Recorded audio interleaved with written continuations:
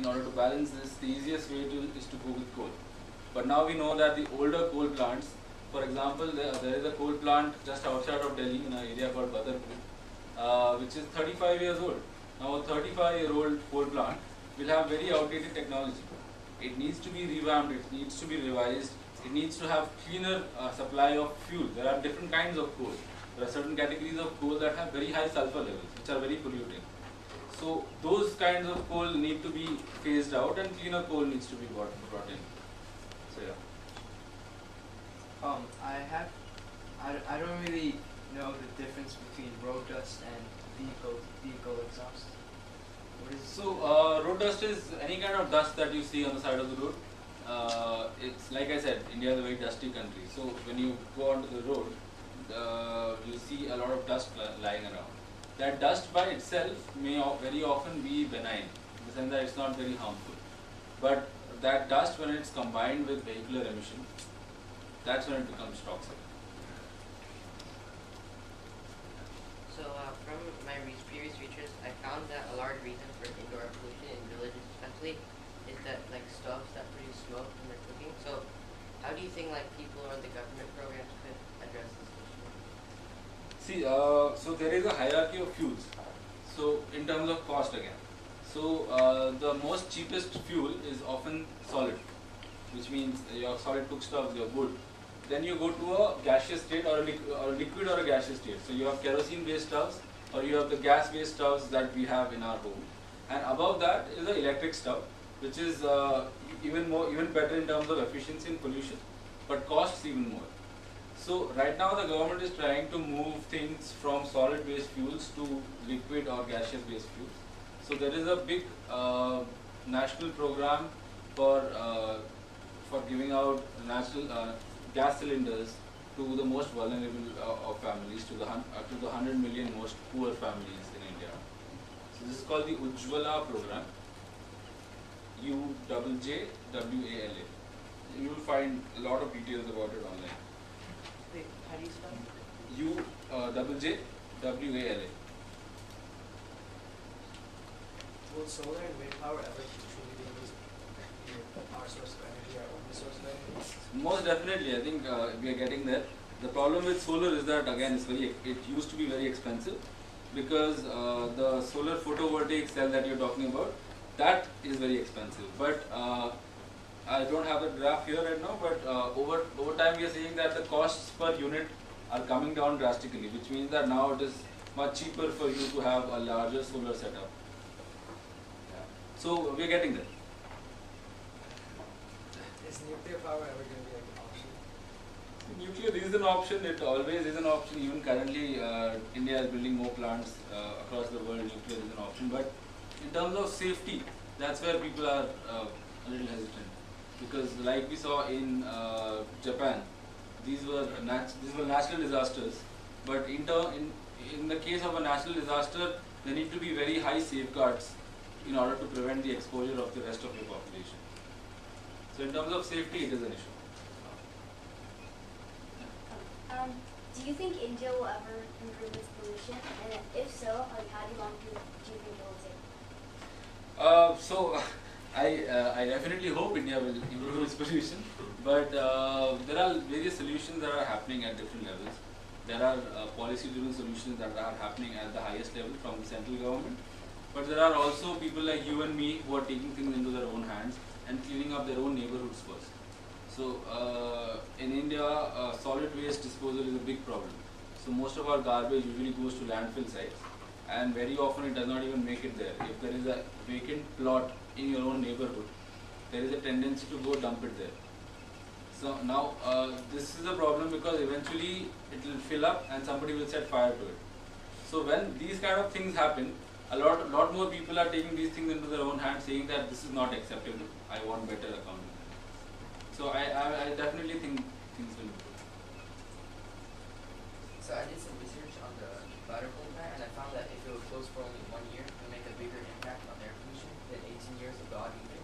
Do you think there are any other solutions to deal with it instead of closing the So, uh, like I said, Badarpur power plant is a 35 year old power plant, and uh, therefore, uh, possible solutions would be to upgrade it.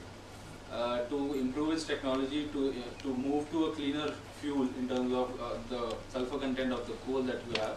So these are all technologies that these are all solutions that could be uh, looked into, but there is definitely a trade-off in the sense that upgrading such a big plant will take money, and that money is something that the government uh, must put in or prioritize whether that money can be put in elsewhere.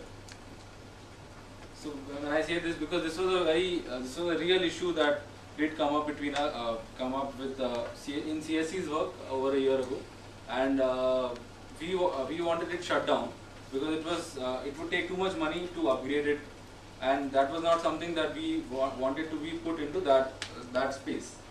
So uh, ultimately, these kind this is a decision that needs to be taken whether that money needs to be put into upgradation or it can be used to build more solar power plants and wind power. plants. So like there's a lot more solar and wind plants and like you have to make those like windmills and things and like loads of jobs are being made. So do you think like these are good jobs? Like will they have to work long hours and will they get fair pay?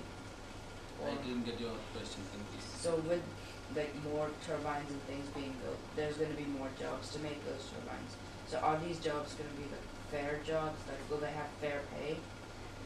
Uh, What do you so, uh, so the labor laws in, in India are improving, and the implementation of, of that is also improving. But there are certain areas where things are still bad. But uh, it's definitely an opportunity for people like you and me, uh, you more than me, to see what kind of areas you could apply your mind to 10 years down the line. So these are all emerging areas that will be very prominent in the future. And this is something that you guys could uh, play a major role in. So um, I'm focusing on the rag pickers and the, um, basically in Ghaziabad, the landfill, and I know that they're helping with to promote recycling. But I was wondering if there's a more environmentally friendly method of disposing materials that can be recycled or will take a long time to recycle. Uh, so with rag pickers, I would say the biggest problem is that uh, everything is dumped and put together at one source. So when uh, I'm sure you guys have different dustbins here where the waste is segregated, right? You have a different bin for your wet waste, different bin for, bin for plastics and metals and other things which can be recycled. That makes their job so much more easier because then all they need to do is recycle the recyclables. What is happening in the landfill side is that everything comes together in one truck all mixed up together. So they have to manually try and separate uh, the good from the bad, or what they can recycle from what they can't. So that would be a much easier way to do it, and it would help them as well because India has a very long history of the informal sector here. So I don't know uh, if you uh, if you are familiar with the term kabadiwala, but uh, yeah, so. Kabadiwalas uh, have been a part of India's heritage for a very long time. Unfortunately, now they are dying out and being replaced by something that is less efficient, which is a municipal uh, solid, uh, solid waste collection system, which mixes all this together. A kabadiwala used to come and collect your newspaper separately, your bottles separately, and he used to recycle it. So, I mean, not out of his own goodwill, but because there was uh, there was a livelihood chain even there. Now, if you are dismantling this livelihood chain through formal or informal methods, it's going to come back to you, and you are moving indirectly towards more uh, towards less efficient methods. But I mean, I was just wondering about the non-recyclable products and what can be done to like. So uh, there are uh, dispose of those. there are solutions for that. So uh, a lot of the uh, house or the kitchen waste, the wet waste, that can be uh, remade into uh, fertilizers. It can be uh, you can generate biogas from it. You can generate electricity from it. But for that, uh, and these are already happening at the small scale in, in various parts of India. Even within Delhi, uh, there, there are experiments. There is an area called Kidwai Nagar. Has uh, uh, is you should look into that if you are looking into this. Kidwai Nagar has did set up a local uh, waste to energy plant. It was a small plant meant for the residents of that area. So what, what it did was it could convert your uh, kitchen waste into energy. But what happened is that nobody separated the kitchen waste and gave it to the waste to energy plant. They all put all the waste together. That is that was a major drawback. Yeah. Um, what do you think is the most effective way to protect oneself from pollution? Uh, there is no effective way as such because see masks are. Uh, masks are a band-aid solution. So they are they will be effective as long as you wear them, but uh, you can't you can't limit your own exposure to the outside world for forever. So masks are definitely a solution and they should be promoted, uh, masks and purifiers wherever they can. But for a large part of our population, these are not very accessible solutions. So the solution would be to address uh, the source of pollution. So if you can stop it at the source, that's the best option. Uh, is the solar canal power project still working? Or is the government still working on solar? The solar canal. Uh, solar canal, uh, canal solar power project, like in Gujarat. Okay, okay. So the covering the tops of the canal. So uh, it is being still promoted by certain certain governments, but uh, it has its own drawbacks and positives and negatives. The positives, of course, are that you can use that space to generate electricity. But the negative is that uh, it totally cuts off sunlight from the canal itself, and therefore promotes uh, bacterial growth, promotes uh, algae growth, and other kind of consequences which uh, are also not required or wanted. So for solar, I think the best way would be to go decentralized, as small as possible, and as uh, as local as possible. So uh, CSE stance on this is that instead of having huge power plants, solar power plants, which have kilometers and kilometers of uh, of solar panels, everybody has a solar panel in their own house for their own requirement, and that would be uh, perhaps a more sustainable way to go forward, rather than uh, generating it at one point and then sending it, transmitting it across the country. And how, uh, uh, Go ahead. how effective are the solar uh, panels? In terms of what effective is it? Like, um, like not all uh, power and sunlight that is coming is being produced into energy, right? So how effective in terms of that? They are not very effective currently because, uh, but then that's improving over time. This is again uh, something that various uh, corporations have been working on for the past 20, 30 years. I, if I'm not mistaken, I think it's about 20 to 30 percent right now, but uh, I think we need to check on that. So from previous slide of presentation, I think you mentioned that around 12,000 children have like reduced lung function. So from my research, I found that like the government programs have been passing out medicine to pe- children and people under the poverty line. Is this covering everyone, or is it still more? Uh, is there still more?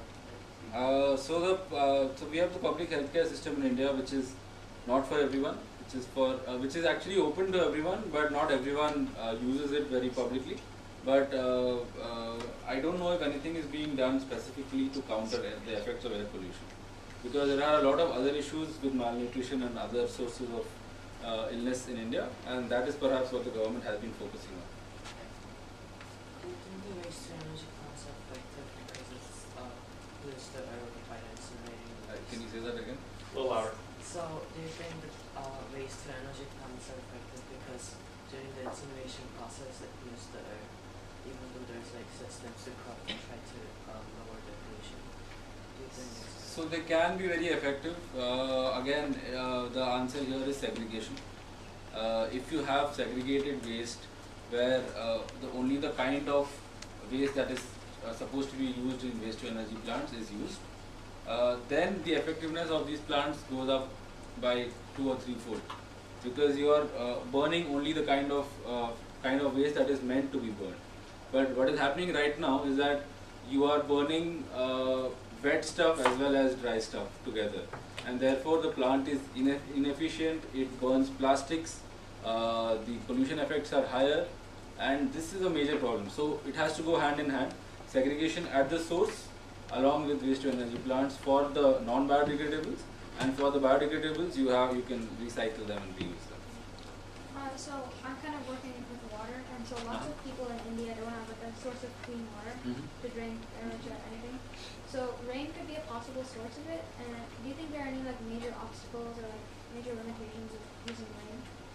So there are no major limitations of using rain, and in fact, uh, majority of India still depends on rain.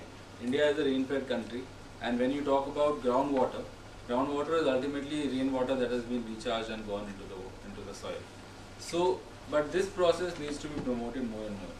So when we build more roads, when we build more parking lots, what we are essentially doing is we are covering the soil with a layer of concrete. and therefore the rain that falls in does not go into the soil. It goes runs off into the sea or it goes to the river and the stream and then eventually to the sea. So we need to make rainwater more usable by promoting things like rainwater harvesting. Uh, again, at the decentralized level, in your own house, in your own office, uh, you need to collect that rainwater and make it more usable. Just a follow-up question, but if the air is air is polluted like this, if, wouldn't it be acid rain that's coming down? So So uh, some of it is, not all of it. Uh, the initial rains of every season are usually uh, more acidic than, than others because that's when the air is polluted and the first rains brings down part of that acid. But uh, nature has its own systems of purification and cleansing. So when it percolates into the soil, a lot of that acid gets separated. Some of the um, heavy metals and minerals get separated. But uh, then again, also human activity is also adding to the problem. So when we uh, dump our waste and throw it, uh, throw it in the ground or bury it under the soil, it adds to that. Fireworks. So fireworks is a major uh, problem around Diwali, but not just around Diwali. So fireworks, uh, what causes the color of fireworks? So we all know that different metals burn at different temperatures, and when you burn different metals at different temperatures, the the colorful effect is formed. So you know, a copper will form a, a blue light, uh, sulfur will form a white light. So uh, fireworks do contain heavy metals, and these heavy metals stay in the air for a very long time. And when it rains, it goes down into the soil, uh, decreasing not just the fertility of the soil but also percolating into groundwater. That groundwater is what you're drinking eventually. So yeah. Um, so you said that you have a magazine for like public awareness called Down to Earth. So why do you think that people are like unaware of the problem and can't see that there's a problem? Because uh, I think the problem is uh, quite big. Uh, the problem is quite big, and uh, very frankly, there are other issues that people do focus on. For instance, uh, why do you think pollution, air pollution, has been raised as an issue only in Delhi, in places like Delhi and Bangalore and Bombay? Because these are. Okay, yeah, sorry. Does anyone have an answer to that? Are they major cities? Yeah, but so what? Do you think there's no pollution in other cities or smaller cities? No, just like there's more media around the bigger cities. is it because Partly. their the grounds are more higher? Not always. Not always. It's because uh, these are urban areas that have uh, that have gone beyond the basic problems of poverty and and getting food. For large parts of India, that is still a bigger problem, and that still needs to be worked on. So when you tell a politician uh, in say Andhra Pradesh that you need to do something about the plant that is polluting in the rural areas, he has other priorities, and that is why things don't go into uh, don't get into action very often, and which is why these kind of things are very urban problems. You will see that Paris, London, New York has pollution problems, but very very rarely do you see a pollution problem being uh, brought up in smaller parts of the world or in rural areas. So if like children, let's say, continue or adults continue to uh, like keep being exposed to like particle matter, 2.5 or 10, like what are the long-term effects or like what are the effects in the future like? So uh, the long-term effects are uh, in terms of you know, lung capacity reduction, like I spoke to you about. Uh, that is the most, the single single largest problem. So people who don't have uh, lung uh, respiratory problems will develop respi- respiratory problems, and people with existing problems, uh, the problems will worsen. And this will lead. This has ma- uh, major effects on the rest of your physiology, because uh, when the pa- particulates enter your bloodstream, then they can affect blood pressure, they can affect long-term diabetes, they can affect uh, your mental development. There was recently a, uh, there was recently a study done by uh, Lancet. Lancet is a journal in which the study was published that was talking about how uh, Indian uh, the lungs of Indian kids are stunted, and uh, in some cases they found that these lungs are underdeveloped by up to 30 percent because they've been uh, exposed to air pollution over long term. Um, so as you know, there was uh, this odd and even number rule, but uh, so while researching, came to notice that like some websites say state that vehicle exhaust is one of the major problems to uh, outdoor air pollution. Uh, measured in PM 2.5s. But other websites uh, state that uh, the government got it all wrong and uh, vehicle exhaust is not the major problem, is not one of the major problems to PM 2.5 classifications. So I don't know which one. See, I told you about the these sources. How many of them are you exposed to on a daily basis? So, uh, in terms of the total quantity, perhaps a power plant emits more than one or ten or even hundred cars. But a power plant is a source that is 30 feet, uh, 30 meters in the air, and it is not something that you're directly exposed to. It affects the people around it, but not everybody else, not somebody who's 100 kilometers away. Vehicular exhaust is something that none of us can escape, unless you're living in the Himalayas somewhere or you're living in the forest. Because vehicles is something that all of us deal with everywhere. It is the first source of exposure that uh, that exposes you to air pollution. It is also the uh, single largest uh, source in terms of the scale of it. In terms of man-made activity, uh, there are millions and millions of miles that are driven every day. So uh, the total to the total effect of it is quite major. Yeah. Odd and even is a different thing. I mean, you can argue whether odd and even is effective or not. But the purpose behind behind odd and even is to try and ensure that people use public transport and not their own ve- own vehicles. And that is something that is I don't think is uh, being argued. So again, I'm doing rainwater. Um, so do you think in like rural areas, uh, rainwater harvesting is a cost-effective way to source clean water? Yes, and uh, most places do use rainwater currently. When you talk about a well, a well is essentially rainwater that is concentrated, and uh, but uh, you also need to have a balance there because if you extract too much, your groundwater levels eventually will get depleted. So in the rural areas, uh, most definitely, but uh, the sources need to be kept clean. So when I talk about industrial effluent emissions and all that, so if that kind of water uh, percolates into the soil, it's going to affect the health of people who drink it.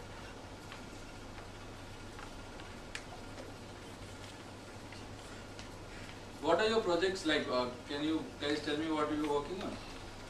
What are you working on? Uh, I'm doing air pollution and the like, respiratory diseases. Okay. Okay. I'm doing uh, energy sustainability. Okay. Okay. Are you looking at uh, India specific? All of you guys looking at? Yes. Yeah. Okay. Okay. So what I would uh, perhaps also say is that when you're looking at a certain topic, uh, try and take up a specific area, and the smaller that area is, the more in depth you'll be able to go in terms of your research. If you're talking about air pollution in India, say vis-a-vis air pollution in Chanakyapuri, that uh, you'll perhaps get much more uh, in depth and into the sources of pollution in a particular zone, and not just air, even water. Uh, I just have a question that, so if the PM 2.5 particles go into your bloodstream, is there any way that uh, it can be cleansed? No way. So it stays there forever.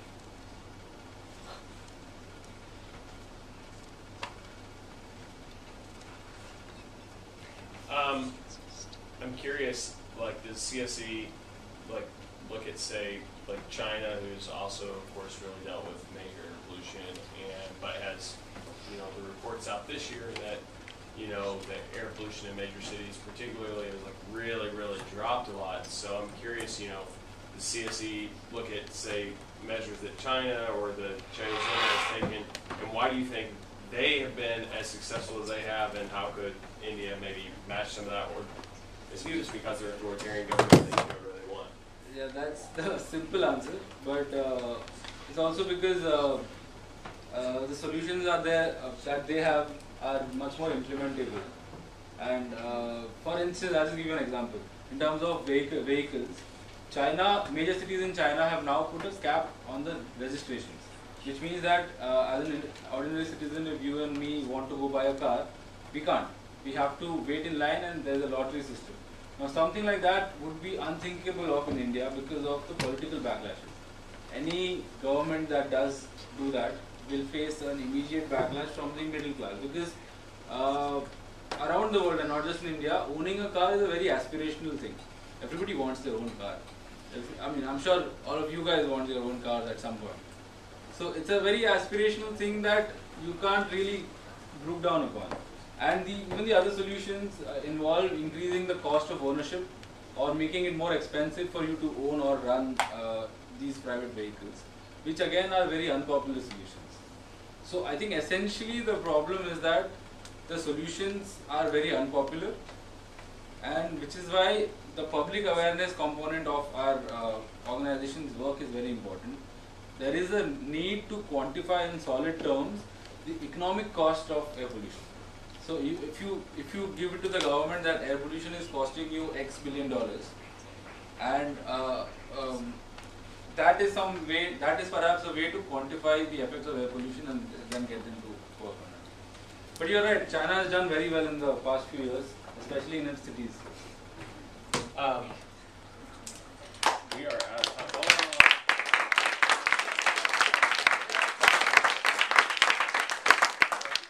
Thank you so much for taking time out of your day. We know you're really busy, and uh, we really appreciate you coming in and talking with us and um, just sharing a little bit of your work. So, um, again, big thank you, guys. You have lunch now, and you requested for one. Is that right?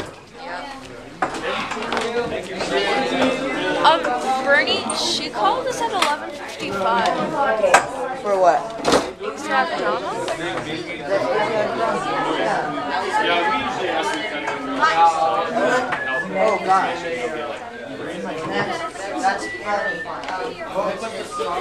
That's terrifying. Nice work. Well, first we gotta get our. So I should scare people to death.